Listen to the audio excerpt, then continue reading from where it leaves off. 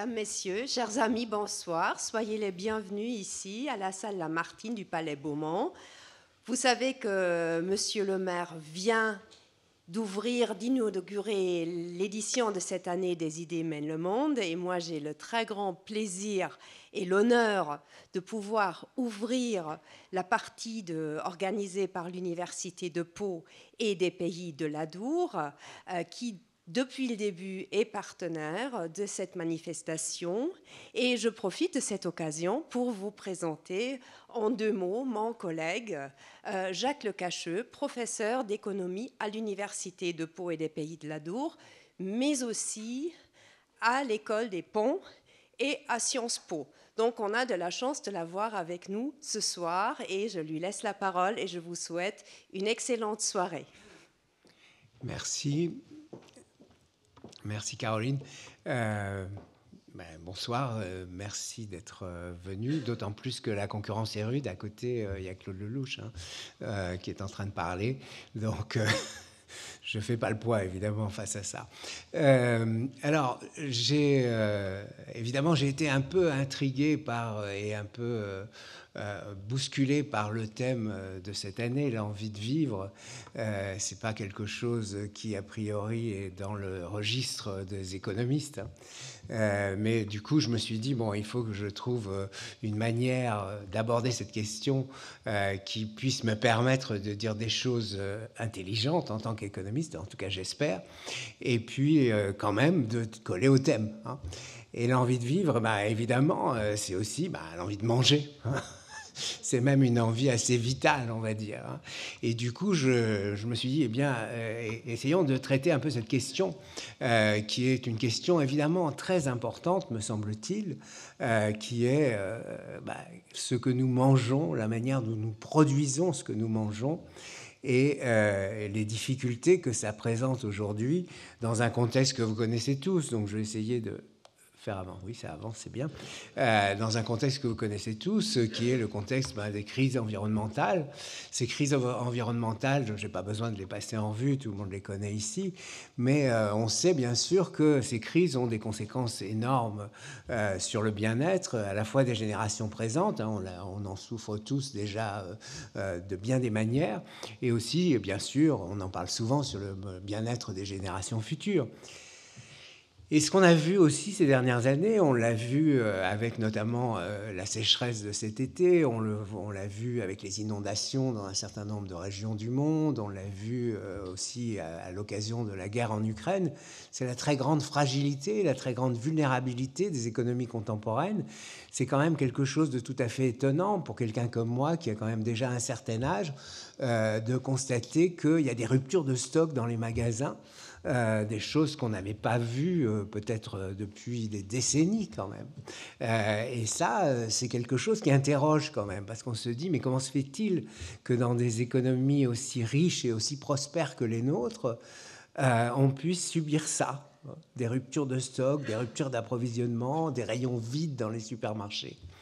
Et donc ça montre à la fois la vulnérabilité et la fragilité des économies contemporaines, la façon dont on a développé finalement un système dans lequel on est tellement interdépendant et dépendant des chaînes d'approvisionnement euh, qui sont finalement très peu diversifiés. Alors évidemment, peut-être vous avez vu la, euh, publicité, euh, une publicité pour la moutarde, je ne vais pas citer la marque puisqu'on n'est pas en train de, citer des marques ici, mais qui m'a fait beaucoup rire, qui dit quelque chose du genre que je sache, Montréal n'est pas la capitale de la moutarde. et ben oui, on, a tous été confrontés à, à, à cette réalité qui est que en réalité la moutarde qu'on appelle de Dijon, qu'on avait l'habitude de, de penser euh, fabriquer en France, etc., avec de la graine de moutarde cultivée en France, eh ben non. En fait, non. Euh, elle, est faite avec de la graine de moutarde cultivée euh, au Canada. Et la raison de la rupture d'approvisionnement, c'est qu'il y a eu une grosse sécheresse l'été dernier, pas cet été, mais le précédent au Canada, et que donc, euh, voilà, il n'y a pas eu pratiquement de récolte de moutarde. Donc tout ça illustre bien cette interdépendance, cette vulnérabilité. Et puis, bah, nous savons aussi aujourd'hui, et on le voit notamment avec l'eau, hein, c'est juste une des, illustrations, on l'a vu cet été, des restrictions d'eau, la sécheresse, etc., que nous consommons trop de ressources naturelles. Euh, et que nous avons des impacts excessifs sur l'environnement.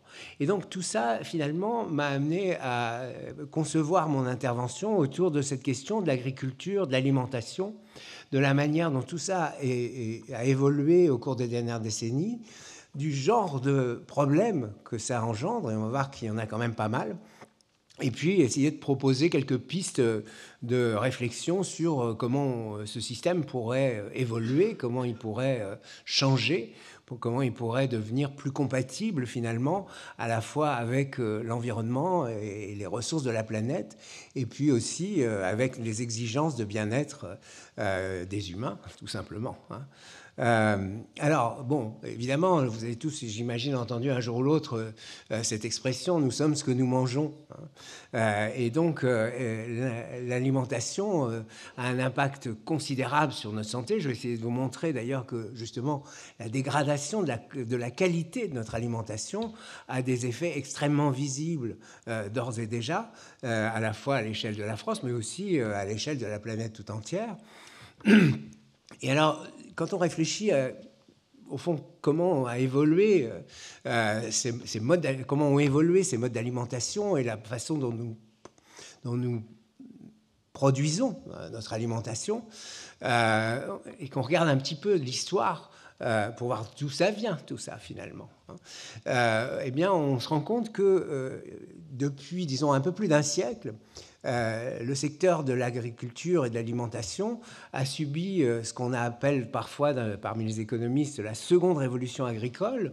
Et cette seconde révolution agricole, c'est celle finalement qui a, pris naissance aux États-Unis euh, vers la fin du 19e, début du 20e, et qui correspond en fait à l'introduction dans l'agriculture de nouvelles techniques, de nouvelles méthodes, et surtout l'utilisation de nouveaux intrants agricoles c'est l'introduction euh, d'une part de la mécanisation euh, avec donc la dépendance de plus en plus grande de l'agriculture aux énergies fossiles avec la mécanisation et puis d'autre part c'est l'introduction aussi de, de la chimie dans l'agriculture, hein, à la fois les engrais chimiques et puis les pesticides. Hein. Et ça, évidemment, ça a eu des conséquences considérables à la fois sur la structure des exploitations. Euh, on a, eu, euh, on a assisté partout à une, euh, une concentration des exploitations agricoles, donc de moins en moins etc., etc. Et puis aussi sur la manière de produire et sur la qualité de ce qu'on produit et sur les impacts que l'agriculture a sur l'environnement. En fond, on peut se dire que jusqu'au début du XXe siècle, l'agriculture avait très peu d'impact sur l'environnement. Hein. C'est-à-dire que c'était une activité, d'abord c'était l'activité dominante hein, dans la plupart des régions du monde. La plupart des gens étaient agriculteurs, donc on travaillait essentiellement pour produire de la nourriture et pour produire aussi toutes les matières premières d'ailleurs qu'on dérive de l'agriculture, pas seulement la nourriture, aussi les vêtements et aussi toutes ces choses. Mais euh, on avait peu d'impact sur l'environnement en ce sens que l'agriculture était un secteur qui vivait sur lui-même, qui utilisait ses propres intrants pour produire autre chose. Hein. Alors que là, avec la révolution agricole euh, dont je parle, on passe dans un système où l'agriculture va avoir besoin de fournitures qui viennent de secteurs qui sont en amont, hein, qui sont la chimie, qui sont euh, le machinisme agricole, qui sont euh, les, les, carburants, etc. etc. et du coup va rejeter aussi en aval des déchets, et donc va avoir un impact sur l'environnement, un impact polluant sur l'environnement. Et ça, c'est un grand changement, évidemment, qui s'est produit, donc, comme je vous le disais, au début du XXe siècle aux États-Unis à peu près, qui s'est répandu tout doucement aux États-Unis. Certains d'entre vous ont peut-être lu euh, ce fameux, ce célèbre roman de, euh, de Steinbeck qui s'appelle Les raisins de la colère. Dans Les raisins de la colère, on voit bien justement les conséquences euh, économiques et sociales de ce changement de modèle agricole, avec tous ces paysans qui sont, qui sont ruinés, qui sont jetés sur les rues, dans les rues, etc., etc. Vous avez tous sans doute vu aussi des images du Dust Bowl et de etc., etc. Donc la, catastrophe que ça a pu constituer aux États-Unis. Et puis ce modèle-là, donc il est peu à peu, il s'est répandu sur l'ensemble de, la planète. D'abord en Europe occidentale, où il est arrivé, disons, après la, la Seconde Guerre mondiale. Hein. C'est en gros à partir de ce moment-là que l'agriculture européenne a commencé à évoluer dans cette direction. Et puis petit à petit dans tout le reste du monde. Et ça a complètement changé les choses. Et en parallèle, on a assisté aussi à un développement d'un secteur très important en aval, qui est ce qu'on appelle l'industrie agroalimentaire, hein. c'est-à-dire une industrie de collecte, de transformation et de distribution des produits agricoles. De sorte qu'aujourd'hui, même si on essaie de nous faire croire encore que nous, nous consommons des produits agricoles, en réalité, non. Nous ne consommons pas des produits agricoles, nous consommons des produits transformés, plus ou moins transformés, sauf évidemment si nous allons acheter euh, des choses chez le petit producteur local, mais ce n'est pas le cas euh, pour la majorité des gens et ce n'est pas le cas le plus habituel. Hein. Et donc tout ça va avoir un impact très important et un impact qui a été en plus amplifié par la mondialisation, parce que la mondialisation a permis finalement, euh, d'une part, de diversifier évidemment les sources d'approvisionnement, de diversifier aussi la nourriture à laquelle nous avons accès, bien entendu, mais aussi euh, de euh, rendre plus interdépendants les différents systèmes agricoles et agroalimentaires, en permettant notamment à l'industrie agroalimentaire de s'approvisionner là où les, matières premières sont les moins chères. Et l'agriculture est devenue finalement, un peu comme l'industrie minière l'était au XIXe siècle, euh, une industrie primaire au sens de une industrie qui fournit de la matière première à un autre secteur qui est l'agroalimentaire. Et quand je dis l'agroalimentaire, je, veux dire l'industrie agroalimentaire et la distribution. Parce qu'évidemment, derrière l'agroalimentaire, vous avez aussi la distribution et notamment la grande distribution. Et là aussi, c'est quelque chose de relativement récent à l'échelle, évidemment, de l'histoire de l'humanité. Euh, quand vous voyez, par exemple, euh, bah, les premiers, les premiers euh, hypermarchés en Europe, on les voit apparaître au début des années 60. C'est pas si vieux que ça, finalement. Hein.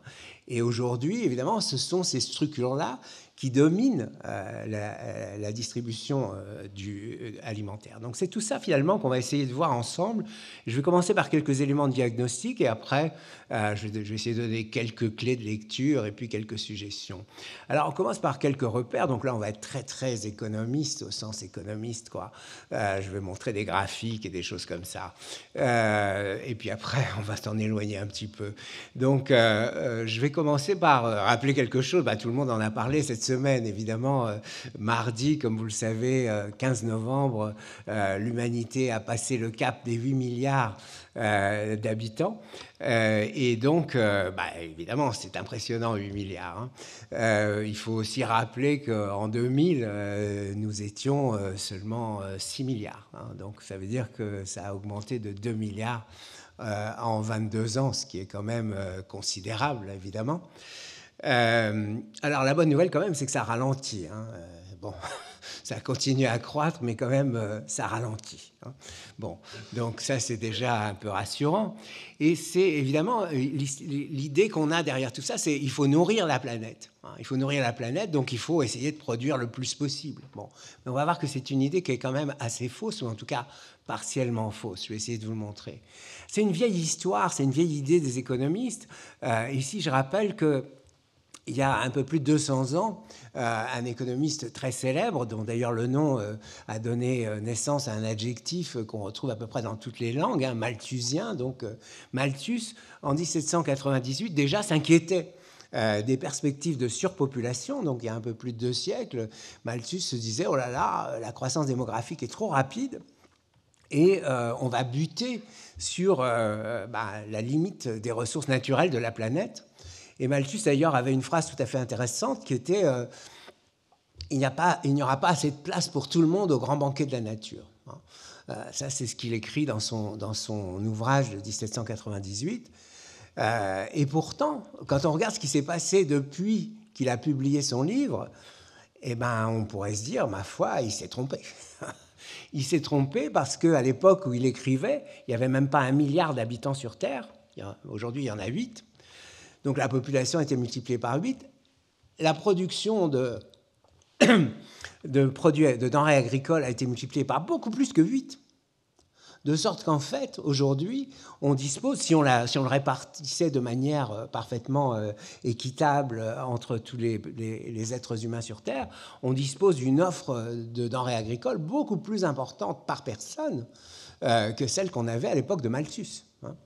Donc, euh, donc il s'est trompé. Alors pourquoi il s'est trompé? Alors d'abord on peut se dire, bah, il s'est trompé jusqu'à maintenant, mais peut-être qu'il va avoir raison plus tard. Hein. Vous connaissez l'histoire du mec qui tombe du 50e étage et qui se dit, jusqu'à présent tout va bien. Hein. C'est-à-dire que jusqu'à tant qu'on ne s'est pas écrasé, on peut se dire, oh bah non, ça va. Euh, mais peut-être qu'on va s'écraser dans un ou deux étages, on n'en sait rien. Euh, mais supposons pour l'instant que, que non. Pourquoi s'est-il trompé, en tout cas jusqu'à maintenant? Il s'est trompé jusqu'à maintenant bah, pour plusieurs raisons. D'abord, parce qu'il y a eu des grands progrès techniques dans l'agriculture, c'est ce que j'ai dit tout à l'heure, notamment avec la révolution euh, agricole dont, j'ai parlé, mais en même temps, on l'a vu, ces progrès techniques se sont aussi accompagnés d'un certain nombre de conséquences négatives, et notamment des impacts de plus en plus euh, nocifs euh, des pratiques agricoles sur l'environnement. Hein. J'y reviendrai tout à l'heure. Deuxièmement, il s'est trompé parce que ben, on a développé des échanges internationaux et grâce aux échanges internationaux, on a pu se procurer euh, un certain nombre de denrées euh, plus facilement à l'étranger. Alors évidemment, les denrées exotiques, on y pense tous, bien sûr, mais pas que. Euh, on, a, on, le voit bien avec la guerre en Ukraine. quand on a un pays comme l'Ukraine, qui est un des très gros producteurs de céréales, d'oléagineux, etc., qui se trouve exclu du marché du fait de la guerre, eh bien, tout d'un coup, on se rend compte qu'il euh, y a un certain nombre de choses qu'on ne trouve plus ou bien dont les prix augmentent euh, considérablement euh, parce que finalement, on en dépendait assez largement. Et puis la troisième raison pour laquelle il s'est trompé, c'est que, et ça on en parle moins, c'est qu'en fait on a énormément étendu les surfaces agricoles. C'est-à-dire qu'on a défriché la planète et on a asséché les marais, etc., etc., etc. Et tout ça, évidemment, on l'a fait dans des proportions colossales, en fait, depuis deux siècles, au point qu'aujourd'hui, euh, ce qui reste, ce qui n'est pas consacré à l'agriculture, eh ben, c'est pas grand-chose. Hein. Et comme vous le savez, euh, les restes, euh, c'est notamment l'espace forestier. Et, l'espace forestier, bah, il se réduit comme peau de chagrin dans toutes les régions du monde, ou plutôt pas tout à fait toutes. En Europe, il augmente un peu, euh, en Asie aussi, mais euh, en Afrique et en Amérique du Sud, il se réduit d'une façon effrayante. Hein. Et donc ça, c'est pas non plus une très bonne nouvelle, euh, notamment pour, pour bah, le climat, par exemple, hein, et pour la biodiversité, dont je n'ai pas encore parlé, mais dont je parlerai tout à l'heure. Donc voilà, alors euh, maintenant, ce qu'il faut essayer de comprendre, c'est au fond ce qu'est devenu euh, ce modèle euh, agroalimentaire dans les années récentes. et c'est en fait, on parle en économie de chaîne de valeur, et donc l'agroalimentaire, c'est devenu vraiment un, secteur extrêmement complexe, extrêmement euh, fractionné, dans lequel il y a différentes étapes de production, et à chaque étape, il y a euh, des, interventions, et c'est ce qu'on appelle donc une chaîne de valeur.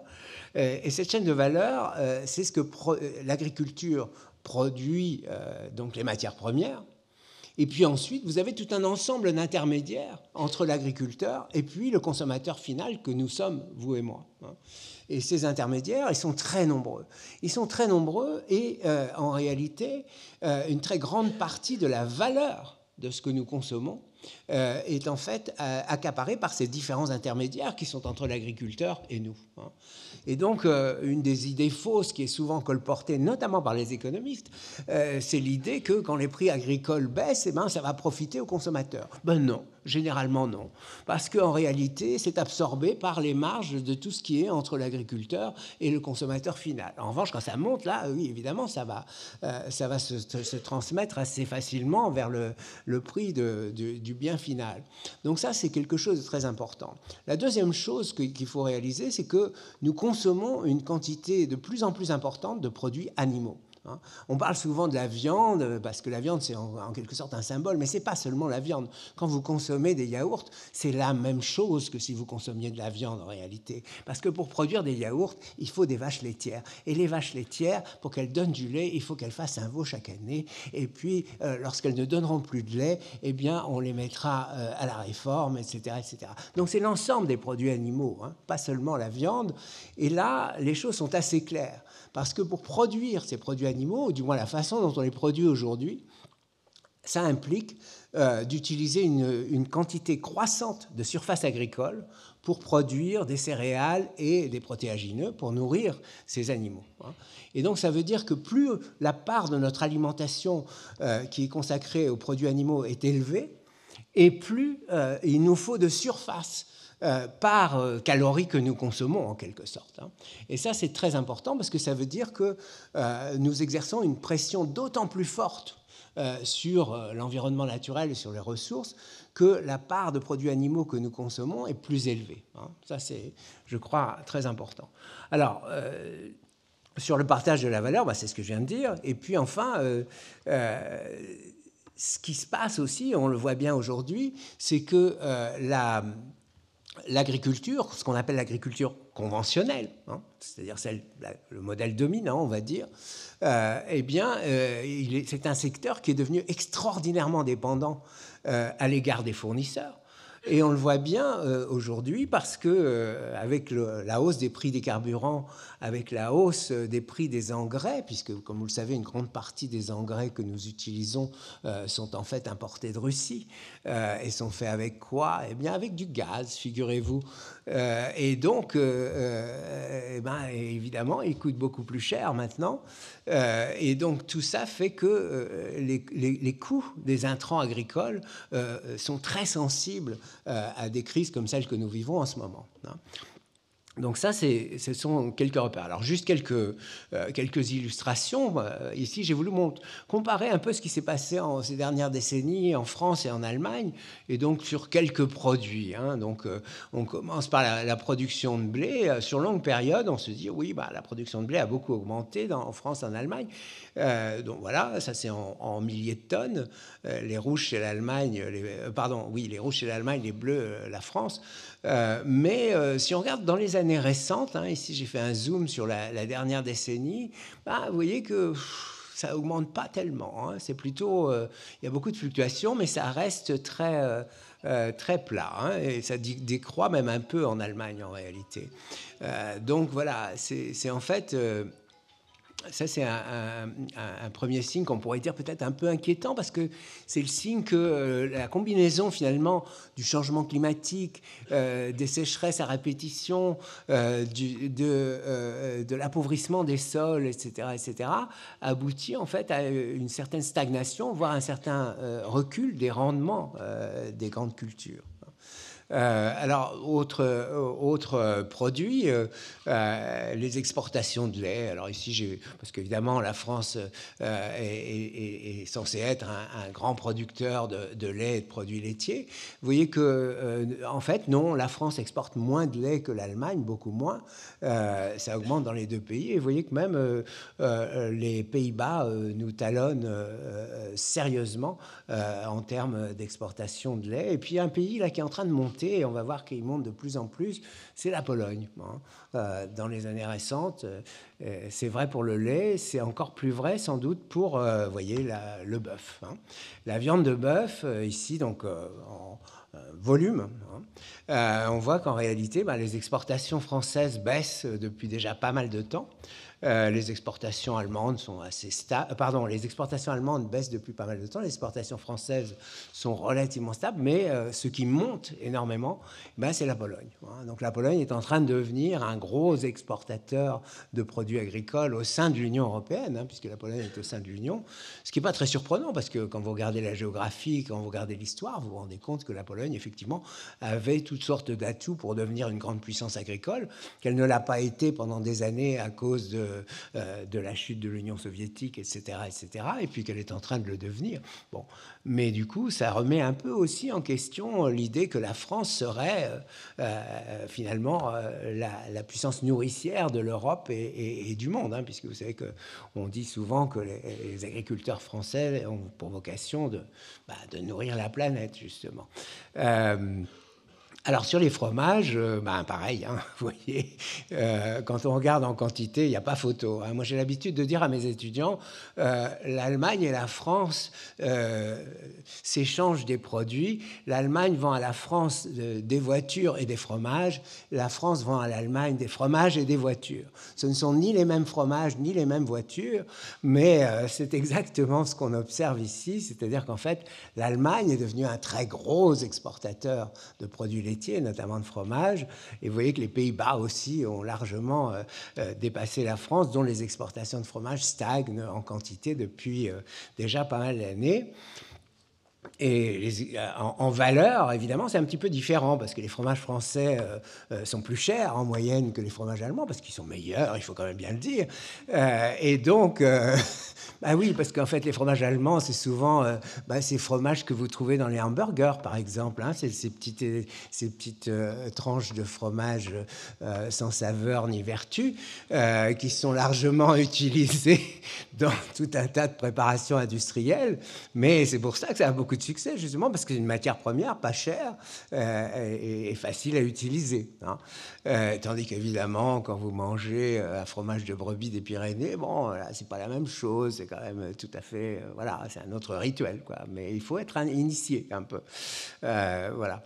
Euh, et puis, et puis, bah là, j'ai voulu regarder aussi les exportations de vin, puisqu'évidemment la France est quand même très connue. Vous savez qu'en fait, et on va le voir dans un instant, le, secteur des vins et spiritueux est le seul secteur agricole agroalimentaire dans lequel la France dégage des excédents en fait dans ses échanges avec le reste du monde aujourd'hui. Hein. Euh, dans le reste, non. Euh, plus du tout. Hein. Et en fait, alors les vins, vous voyez qu'en volume, évidemment, on n'est pas très très bon, hein, parce que euh, bah, l'Italie et l'Espagne exportent beaucoup plus que nous en volume. Mais là aussi, évidemment, la qualité fait la différence. Et donc, quand on regarde combien ça nous rapporte en euros, alors là, oui, beaucoup plus, beaucoup plus que l'Espagne et l'Italie. Et donc, quand on regarde les soldes, ce qu'on appelle le taux de couverture, c'est-à-dire on fait la différence entre ce qu'on importe et ce qu'on exporte, ben, vous voyez que pour les produits de l'agriculture, euh, on a euh, en fait un solde qui est tout juste équilibré. Hein. C'est-à-dire qu'en fait, la France aujourd'hui, alors qu'elle a, elle a eu un taux de couverture jusqu'à 140%, mais aujourd'hui, on est à 100. Hein. C'est-à-dire qu'on importe exactement autant qu'on exporte en valeur hein, pour l'agriculture. Et pour les denrées alimentaires et, boissons et, produits à base de tabac, alors c'est un peu mieux, mais vous voyez que là aussi, ça s'érode quand même très sérieusement depuis un peu plus d'une décennie. Donc il y a quand même un certain nombre de qui montrent que euh, le modèle agricole français, euh, en tout cas sur ce terrain-là, c'est-à-dire sur le terrain de l'agriculture conventionnelle, est peut-être moins compétitif que d'autres modèles agricoles, du point de vue purement économique. Euh, et ça, c'est pas forcément une très très bonne nouvelle pour alors, ce que j'ai appelé ici la ferme France, vous savez, c'est ce qu'on dit habituellement euh, quand on parle de l'agriculture française, notamment au moment des salons de l'agriculture, on dit toujours la ferme France, euh, voilà. Donc, euh, bon. alors maintenant, on va passer à un certain nombre de conséquences et d'impacts de ce secteur de l'alimentation sur, ben, sur l'environnement d'abord et puis sur la santé ensuite. Alors, sur l'environnement, ben, j'ai pris là quelques chiffres qui sont publiés par l'ADEME. L'ADEME, c'est l'agence euh, hmm, de développement euh, économique et de maîtrise de l'énergie. Voilà. Euh, c'est peut-être pas développement économique d'ailleurs, le D. Enfin bon, peu importe. en tout cas, c'est une agence tout à fait respectable et officielle. Et et donc voilà, ici vous avez un graphique qui vous montre déjà l'empreinte énergétique du secteur de l'alimentation. Et vous voyez que c'est quand même beaucoup. Hein. C'est beaucoup, ça représente 23% en fait euh, de l'énergie finale consommée euh, par les Français. Hein. Donc c'est presque un quart en fait. Hein. Euh, et en fait, quand vous réfléchissez à pourquoi, bah, vous le voyez sur, la décomposition, là, c'est qu'en fait, il y a énormément d'énergie qui, est, est consommée par euh, tout ce qui est en amont et en aval, tout ce qui est transport, transformation, etc. etc. Et donc, euh, là, on voit bien que c'est un modèle qui est très énergivore, et cette énergie qui est consommée, bah, c'est essentiellement de l'énergie fossile. Et donc, l'empreinte carbone de l'agriculture, en fait, elle est très, du secteur de l'alimentation en général, elle est très élevée. Vous voyez qu'en fait, c'est un quart de l'empreinte carbone des ménages en France. Hein, c'est beaucoup. Hein, évidemment. On parle toujours du secteur de l'automobile, des transports, etc., quand on parle de lutte contre le changement climatique on oublie que euh, l'agriculture et l'alimentation, euh, bah, ça représente euh, à peu près autant en fait que le, que le secteur des transports terrestres en termes d'émissions de, gaz à effet de serre. Et oui, bon, c'est deux tiers pour l'agriculture quand même et un tiers pour le reste. Alors deux tiers pour l'agriculture parce que, bah, comme vous le savez, comme je l'ai dit, l'agriculture utilise énormément d'intrants qui sont dérivés des, des, des carburants fossiles, soit directement, soit indirectement. Et puis parce que, euh, comme vous le savez aussi, eh bien, euh, il se trouve que l'agriculture émet aussi beaucoup de méthane, hein. euh, à la fois l'élevage bovin, mais aussi tout le méthane qui est dégagé par les lisiers, les fumiers et tous les, déchets agricoles.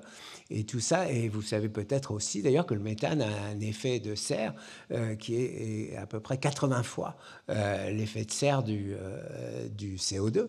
Donc ça veut dire qu'émettre une tonne de méthane dans l'atmosphère équivaut du point de vue du changement climatique, à émettre 80 tonnes de CO2. Donc euh, c'est beaucoup, évidemment. Alors, donc, euh, il y a aussi la question de l'eau. Alors ici, euh, j'ai juste donné quelques chiffres, hein, mais vous savez que dans la plupart des pays du monde, euh, c'est l'agriculture qui est le secteur qui euh, consomme le plus d'eau, hein, et très largement. Dans certains pays, euh, c'est plus de 90%. Hein, en, Égypte, au Bangladesh, en Ouzbékistan, etc., qui sont des pays dans lesquels toute l'agriculture est intégralement irriguée. eh bien, on atteint des, pourcentages extrêmement élevés. Et puis, même en France, l'agriculture représente 43% euh, de euh, l'eau consommée euh, pour l'année, mais en été, plus de 80%. Hein. Donc c'est là aussi qu'il faut se méfier un peu des moyennes, parce qu'évidemment, c'est surtout en été que ça devient critique, l'eau. Donc ça, c'est pour la France. au niveau mondial, on trouverait des chiffres encore plus élevés, hein, parce que la France est un des pays d'Europe, par exemple, où il y a le moins d'irrigation, et dans le monde encore moins. Euh, et puis, bah, évidemment, il y a la question de l'engrais, de l'utilisation des engrais chimiques. Et là, j'ai trouvé des chiffres de la Banque mondiale qui montrent que euh, entre 75 euh, et, 2020, eh bien, la quantité d'engrais utilisée par hectare cultivé a plus que doublé. Hein. Donc euh, ça, c'est vraiment euh, quelque chose de très révélateur, à la fois euh, de la quantité d'engrais qu'on produit et qu'on consomme, mais aussi du fait qu'on a besoin de plus en plus d'engrais pour obtenir une certaine, un certain rendement. Hein. Et donc ça, c'est aussi le signe de l'appauvrissement des sols que dénoncent d'ailleurs beaucoup de biologistes et beaucoup de spécialistes des sols. Et puis, bah, les pesticides. Euh, vous, avez tous entendu parler, j'imagine, euh, du plan Ecofito qui avait été mis en place il y a déjà 14 ans et qui était censé euh, réduire l'utilisation des pesticides par l'agriculture en France de 50%. Et bah, non seulement ça ne s'est pas réduit, mais ça a continué à augmenter. Et on est maintenant à 75 000 tonnes produites et 65 000 tonnes utilisées rien qu'en en Europe, pardon. Euh, et en France, euh, bah, la France est le deuxième marché euh, européen et l'un des principaux consommateurs de pesticides du monde, en fait. Alors ensuite, alors, il y a la question du plastique.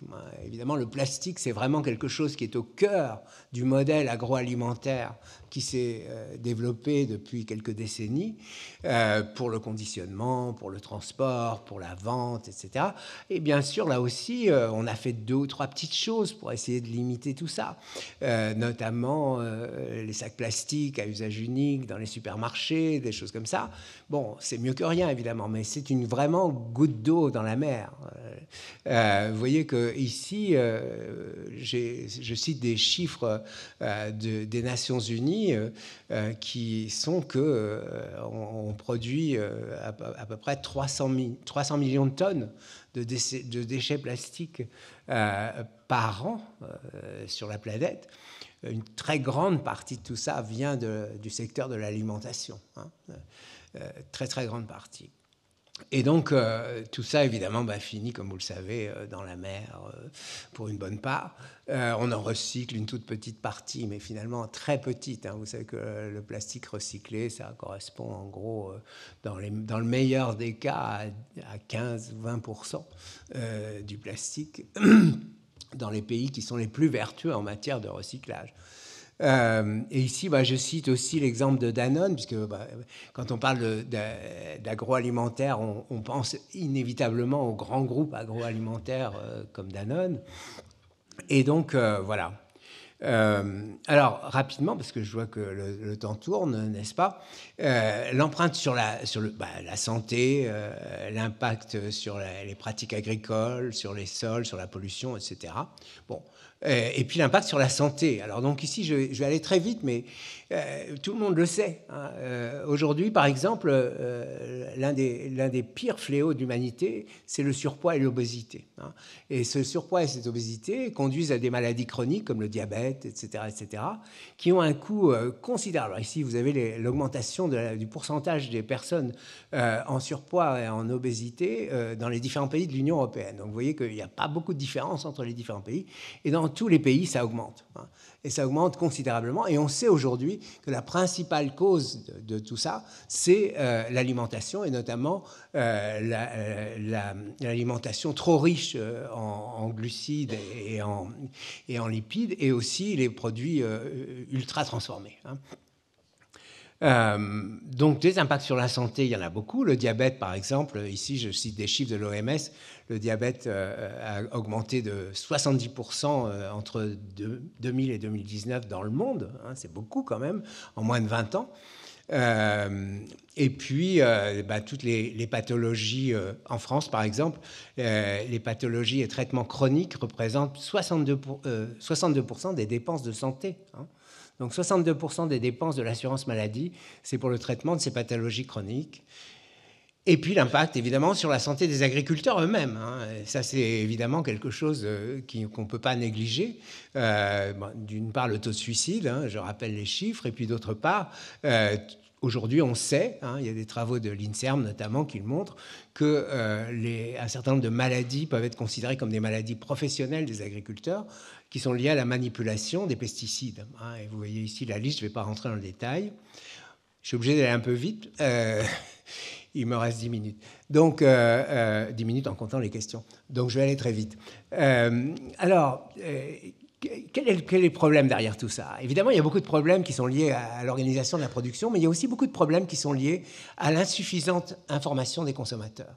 Je pense qu'aujourd'hui, c'est pour ça que j'ai appelé ça l'opacité, on a un système dans lequel, à la fois, on est très informé, mais on est mal informé. Hein. Et je vais vous donner un exemple très simple, c'est le cas du, Nutri-Score. Le Nutri-Score, c'est à la fois une invention formidable et en même temps une catastrophe. Parce que euh, les, gens se sont habitués à l'idée que si c'est A, c'est bon. Voilà. Or, pour avoir le Nutri-Score A, il suffit qu'il n'y ait pas trop de gras et pas trop de glucides. Mais il peut y avoir toutes les saloperies que vous pouvez imaginer dedans du moment qu'il n'y a pas trop de gras et pas trop de glucides, ça va être A. Et comme c'est vert et que c'est A, tout le monde se dit Ah ben c'est bon pour la santé puisque c'est vert et c'est A. Eh bien non, ça peut être très très mauvais pour la santé. Et on peut dire exactement la même chose pour les, à peu près tous les, les labels qui sont utilisés aujourd'hui. Autrement dit, on a à la fois quelque chose qui est censé euh, informer, mais qui en même temps euh, est trop simple euh, et qui du coup induit des fausses croyances euh, dans les vertus de, euh, des choses qui portent des labels. Hein. Sans compter que la publicité est trompeuse. Hein. Alors, je vais aller très vite là-dessus, mais vous le savez tous, l'image de l'agriculteur, de l'agriculture qui est colportée par la publicité est une image totalement mensongère. On, vous montre des petites vaches qui, qui gambadent dans des prés, etc., etc. Et on vous fait croire que c'est avec ces petites vaches-là qu'on vous a fait les steaks que vous allez manger dans votre hamburger. Mais en général, c'est pas vrai. Hein. Et donc, euh, et puis des mentions très vagues, dépourvues de sens, comme par exemple origine naturelle. Ben évidemment, tout est d'origine naturelle, hein. ça n'a aucun, sens, euh, mais ça, ça, fait vendre. Ou bien euh, responsable ou éco-responsable. Et tout ça, évidemment, ça, ne correspond à rien de sérieux et de précis. Hein. C'est juste des, termes qui donnent envie, en quelque sorte. Hein. Et puis la troisième chose, c'est que la, publicité vous donne envie de, consommer toujours plus. Hein. J'ai en tête la, publicité d'un célèbre, une célèbre marque de hamburger où on vous met des trucs de plus en plus gros pour ça, ça, vous pouvez même plus les mettre dans votre bouche tellement ils sont gros. Voilà. Bon, alors qu'est-ce qu'il faut faire? Je vais aller très vite là-dessus. Bah, on peut essayer de changer. L'Union européenne a commencé à lancer une stratégie qui s'appelle de la, ferme à la fourchette et dont l'idée est de dire voilà, on va essayer de, faire évoluer le modèle agricole européen vers quelque chose de plus vertueux à la fois pour la santé et pour euh, l'environnement écologique. Il faut euh, euh, sans doute se diriger vers quelque chose qu'on appelle l'agroécologie. Il faut essayer de réglementer beaucoup plus strictement, et je pense même dans certains cas interdire purement et simplement la publicité. Je pense qu'il y a des publicités qui sont vraiment euh, euh, des, publicités euh, poussent au crime et que donc il, faut, il faudrait les interdire, purement et simplement. Il faudrait qu'en tout cas la réglementation soit beaucoup plus stricte sur la publicité, comme elle l'est déjà sur le tabac, sur l'alcool, etc. Et après tout, ça choque personne aujourd'hui. Alors que quand on, vous pousse à manger des saloperies, là, on, a le droit. Hein. Donc ça, c'est quand même quelque chose d'assez extraordinaire. et puis, ben, comme j'ai dit, il faut mieux, mieux former et informer, mieux éduquer les consommateurs pour essayer de leur, leur, leur, faire comprendre quelles sont les informations dont ils ont besoin et quelles sont les informations qu'il faut chercher. Et puis, je dis en dernier, euh, ben, taxer sans doute euh, le carbone. Hein. Si on taxe le carbone contenu, on va, on va obliger l'industrie agroalimentaire à simplifier, à relocaliser euh, on va l'obliger, par exemple, à vendre les pommes qui viennent de l'autre bout de la terre plus cher que les pommes qui sont produites localement, etc. etc. Je m'arrête là parce qu'il reste plus que six minutes pour les questions. Merci. Voilà, j'ai fini.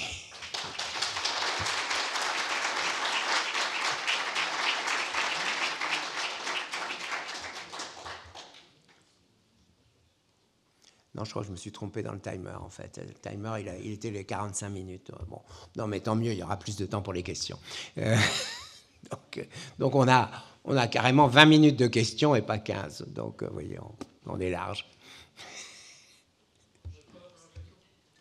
Oui.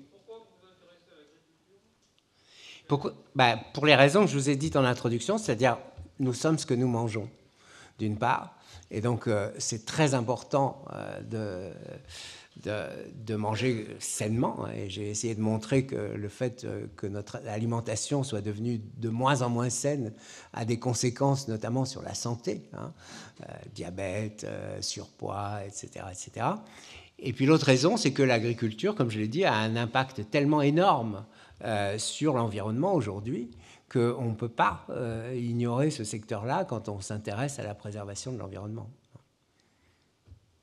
Alors après, il y a d'autres raisons plus personnelles. Hein. Je suis fils d'agriculteur, je suis né euh, au milieu des vaches. Euh, j'aime beaucoup les animaux.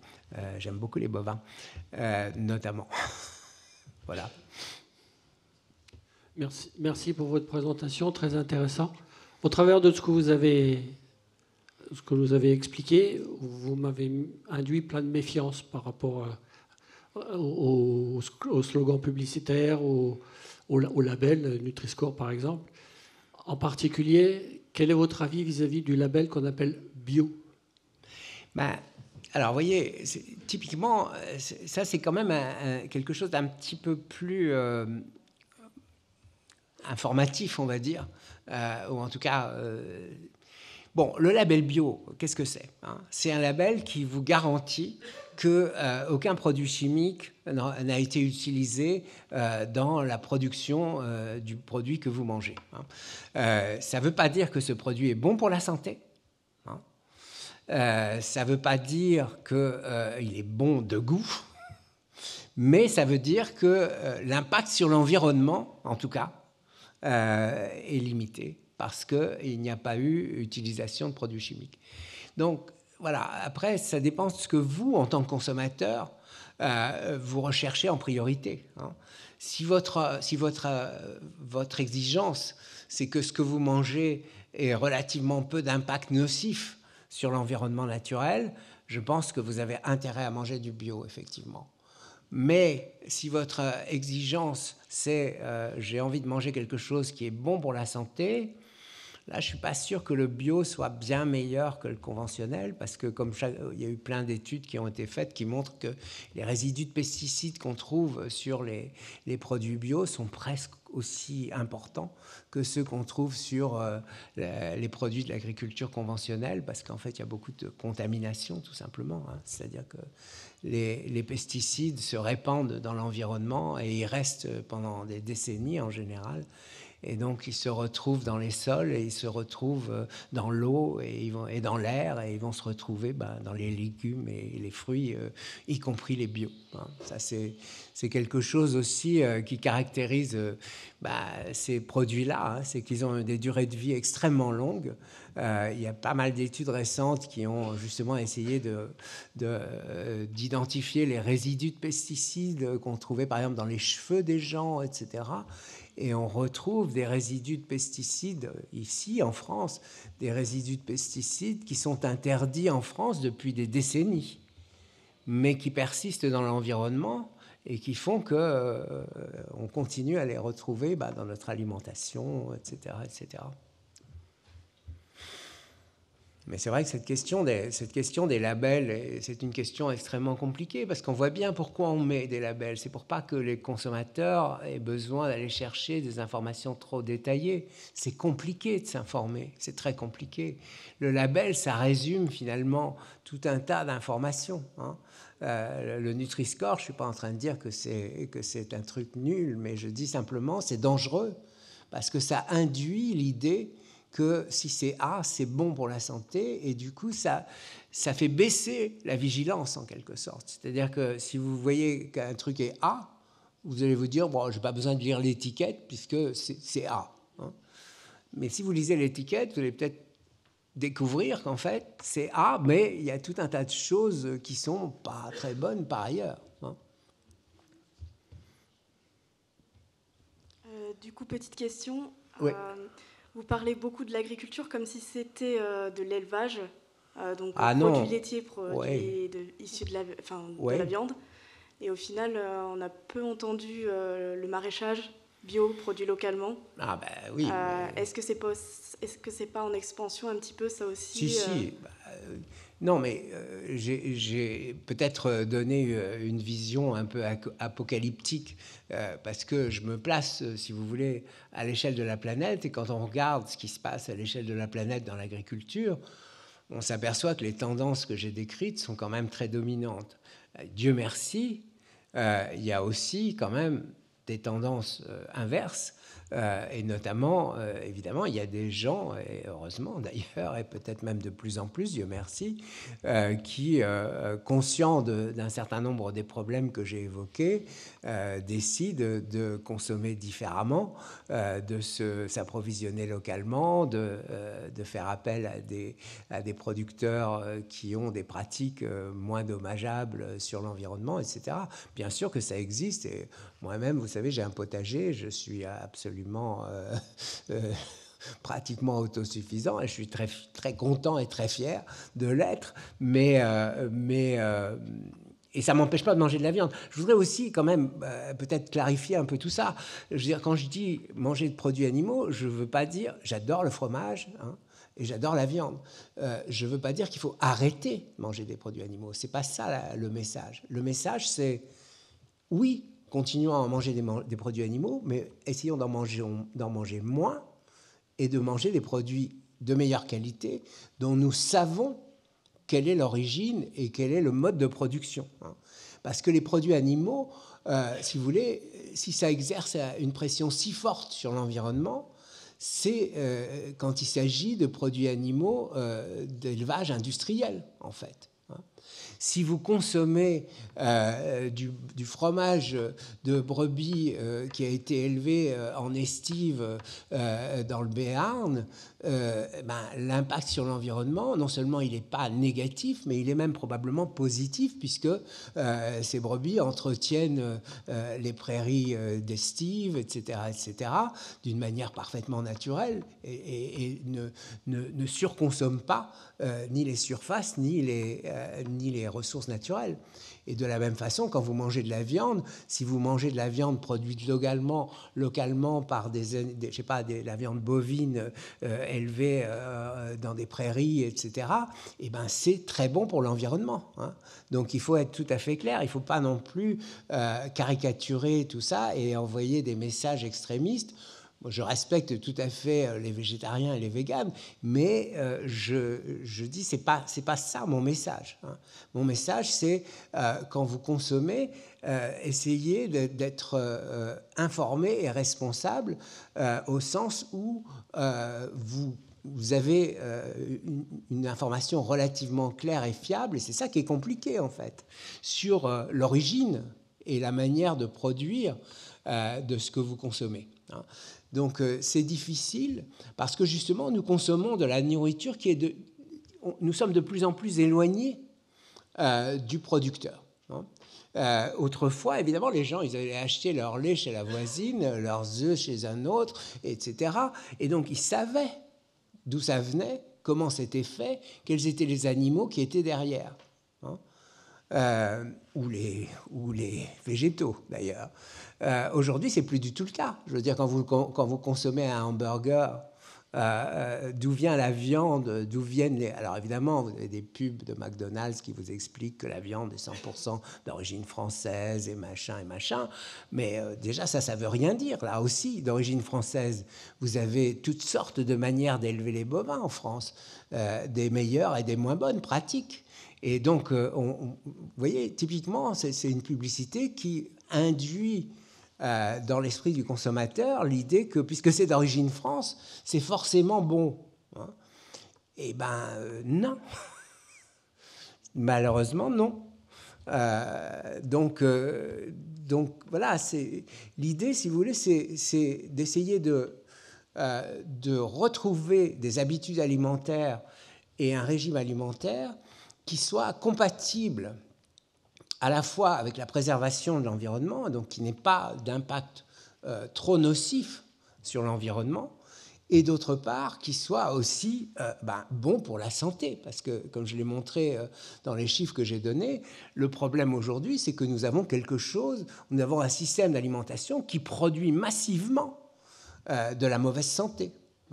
De la mauvaise santé qui à la fois donc est, est, nuisible pour les gens qui en souffrent mais qui aussi est socialement extrêmement coûteux.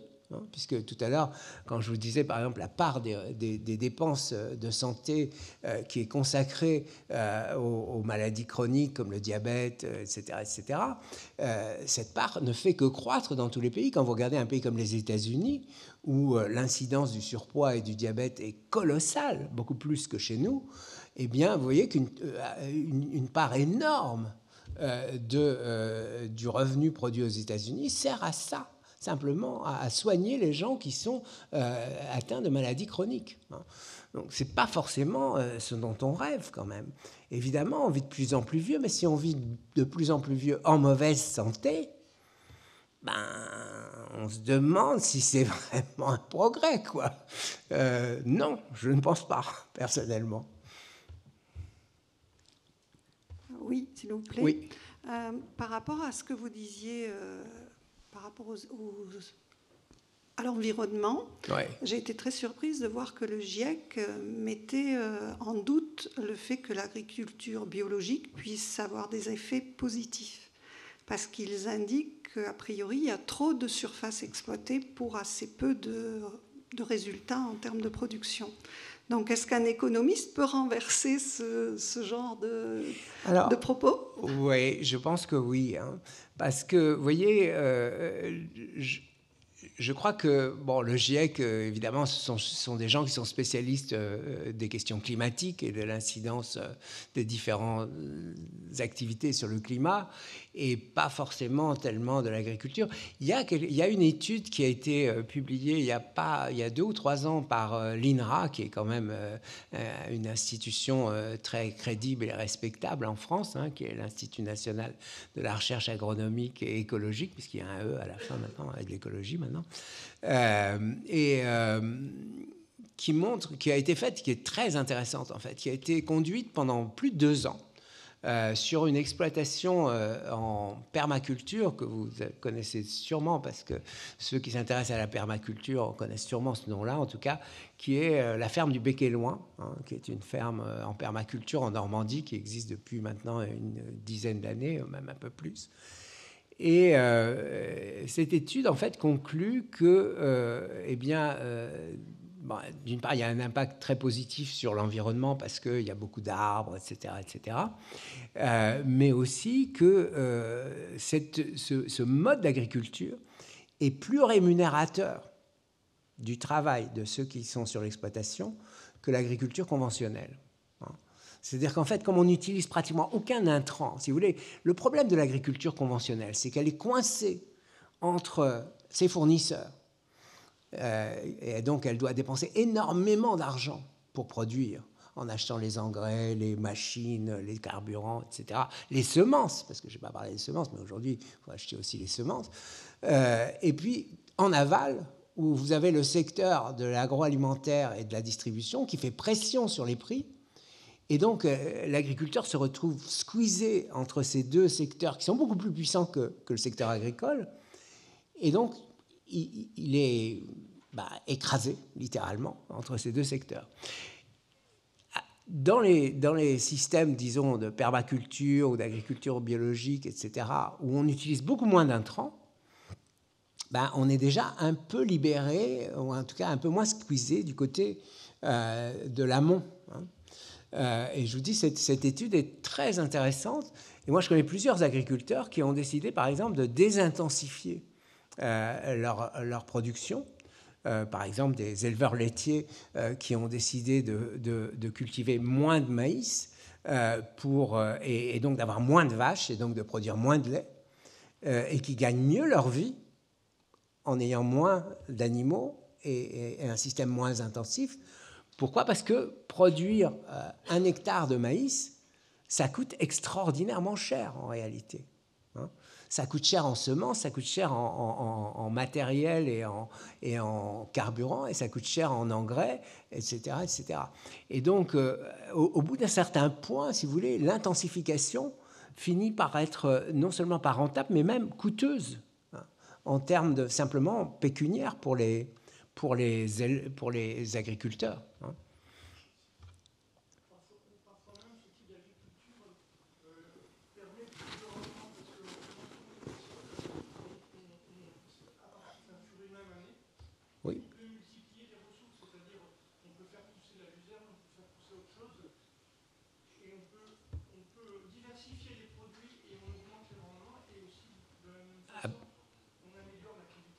Absolument. C'est pour ça que tout à l'heure, je parlais d'agroécologie, parce qu'en fait, l'idée, c'est ça, derrière l'agroécologie, c'est euh, revenir à, des systèmes de polyculture plutôt qu'à de la monoculture intensive. Ces systèmes-là euh, permettent d'utiliser beaucoup moins d'intrants, d'enrichir beaucoup les sols, de euh, favoriser la biodiversité, etc. Donc il y a, beaucoup de bénéfices pour l'environnement. Euh, pas seulement, et, notamment les sols, hein, parce qu'on a, quand on pense biodiversité, on pense très souvent, euh, évidemment, les insectes pollinisateurs, les petits oiseaux, etc., parce que c'est ce qui est mignon finalement. Mais euh, ce à quoi on pense beaucoup moins, mais qui est beaucoup plus important encore, c'est la biodiversité dans les sols c'est-à-dire tous ces micro-organismes qui sont là et qui, aident à, faire vivre les sols et à faire qu'ils soient fertiles, justement. Euh, et, ça, euh, c'est quelque chose que euh, l'agriculture conventionnelle abîme énormément. Hein. Oui. Bonsoir. D'abord, merci pour cette conférence, certes condensée, mais très intéressante. Ma question est la suivante. Si on considère donc deux problèmes actuels récents, à savoir le premier, donc, c'est euh, le climat avec la sécheresse pour donc, beaucoup de production végétale, mais également animale. S'il y a moins d'herbe pour les animaux, donc, ils sont concernés également. Mm. Également, le second problème, ce serait l'inflation. Vous l'avez dit, donc, les engrais ont augmenté, ils ont triplé à peu près, il me semble. Euh, le matériel agricole aussi a pris 20 ou 30% Un tracteur coûte 100 000, 200 000 euros, enfin, 150 000 euros, c'est classique pour un tracteur, c'est pas rien. Et comment vous pensez que l'agriculture peut donc euh, s'adapter à la fois au problème du climat et au problème d'inflation? Oui, c'est aussi une des raisons pour lesquelles je pense qu'il est, souhaitable de faire euh, évoluer euh, les modèles de production agricole, parce qu'effectivement, euh, comme vous le dites, c'est en fait le prix des intrants qui augmente d'une façon extraordinaire. Mais si vous voulez, par exemple, l'intensification, etc., ça conduit à une espèce de, course, de fuite en avant dans notamment l'équipement. Hein. Quand vous regardez, par exemple, les, matériels agricoles qui sont aujourd'hui acquis par les, par les agriculteurs, la taille des tracteurs, est absolument incroyable. Je veux dire, vous avez des tracteurs qui ont des, roues larges comme ça, euh, qui sont immenses, etc. Et ça coûte effectivement extraordinairement cher, de sorte que les agriculteurs euh, sont contraints de s'endetter euh, pour acheter ces matériels et qu'au bout du compte, eh ben, ils ne gagnent pas leur vie. Hein. Ils ne gagnent pas leur vie.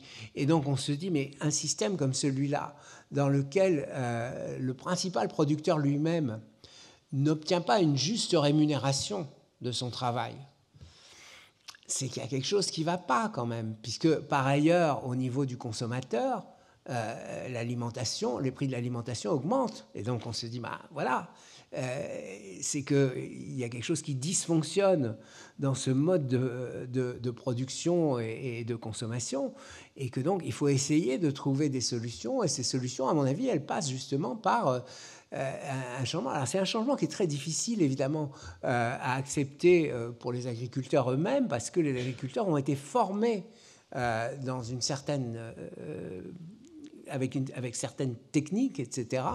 Et que comme tout le monde, euh, euh, c'est toujours très difficile de remettre en question euh, quelque chose qu'on a pratiqué pendant des décennies ou très longtemps. Mais en même temps, vous voyez, il y a quand même quelque chose de très inquiétant. D'une part, tout à l'heure, je l'ai dit, les taux de suicide dans l'agriculture sont absolument effrayants. Hein. C'est presque deux suicides par jour en France, simplement, d'agriculteurs. et ça, c'est une chose. Et d'autre part, il n'y a pas de jeunes qui veulent s'installer dans l'agriculture. Et donc ça aussi, c'est quand même quelque chose qui doit interroger. C'est-à-dire, on doit se dire, ben, si plus personne ne veut s'installer dans l'agriculture, qu'est-ce que ça va devenir? Est-ce qu'on doit accepter la fuite en avant consistant à dire ben, on n'a qu'à concentrer encore plus et intensifier encore plus puisqu'il y aura encore moins de gens pour travailler? C'est ce que pensent certains. Hein.